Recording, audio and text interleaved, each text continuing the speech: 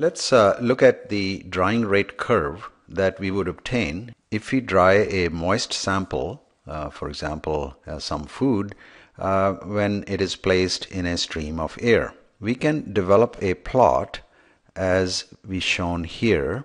Uh, we will have the y-axis as moisture content uh, expressed in dry basis versus time.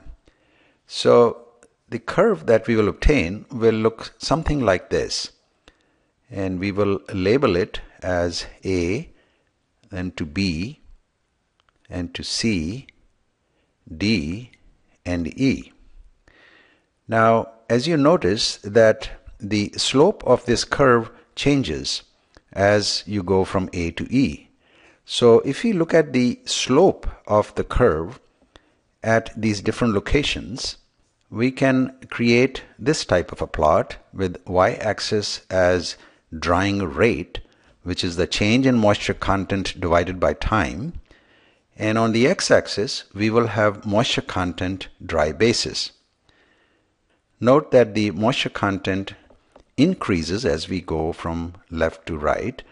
So initially our sample has a high moisture content so we will start somewhere on the right hand side where we have point A to B and then we have a horizontal line B to C and then from C to D and then D to E.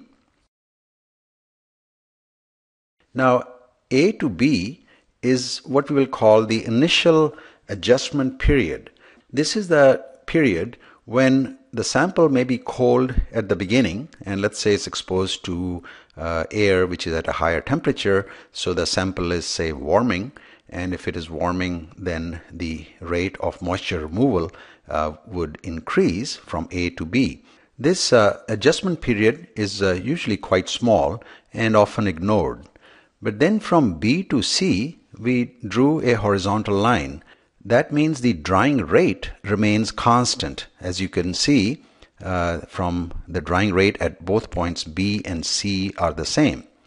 This period is called the constant rate drying period. From C to D, the drying rate decreases. And uh, quite often for different food materials, uh, you just see one period like this and we call it the falling rate period. However, in certain foods, after they go through some drying, there may be internal changes which may result in a different uh, slope and so we have D to E as the second falling rate period. So let's look at the constant rate period.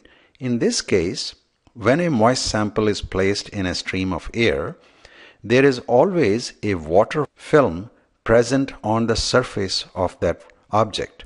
This is because there is a sufficient amount of water inside the food that can easily transfer to the surface and the surface is always covered with a layer of water. So this period when the water is evaporating from the surface and that water is freely available throughout the surface of that object is the constant rate period. On the other hand, in falling rate period, uh, there is still water on the surface, but only some parts of the surface have got a water film. Uh, there is just not sufficient water inside the food to transfer to the entire surface to keep a water film around the entire surface as we saw in case of constant rate period. So as shown here, there are only some parts of the surface where we have water present and um, the rate is uh, decreasing uh, as that remaining water uh, continues to evaporate from the surface. So thus we have uh, both constant rate period and falling rate period that can be expressed on the drying rate curve.